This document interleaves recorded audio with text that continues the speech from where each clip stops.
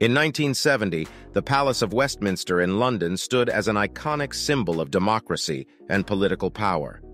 Situated on the banks of the River Thames, this magnificent structure housed the heart of the British government and served as the meeting place for the Parliament of the United Kingdom. The Palace of Westminster, also known as the Houses of Parliament, has a rich history dating back centuries. Its origins can be traced to the medieval era when a royal residence was built on the site.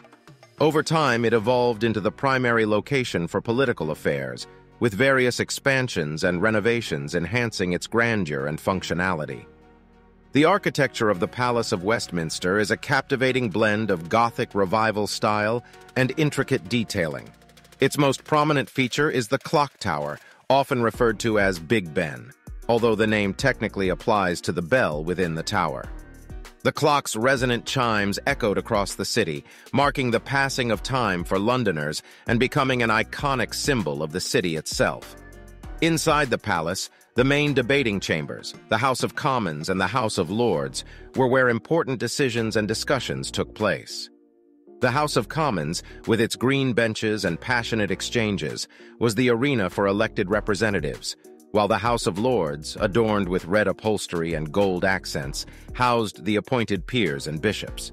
The Palace of Westminster's location on the banks of the River Thames added to its majestic appeal.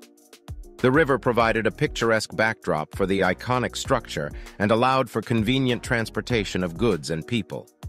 The scenic views of the river and the surrounding London skyline further enhanced the splendor of the parliamentary setting. In 1970, the Palace of Westminster remained a symbol of British democracy and political tradition.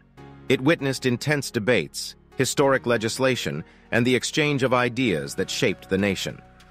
The iconic status of the building and its prominent presence on the Thames continued to inspire awe and reverence among both citizens and visitors.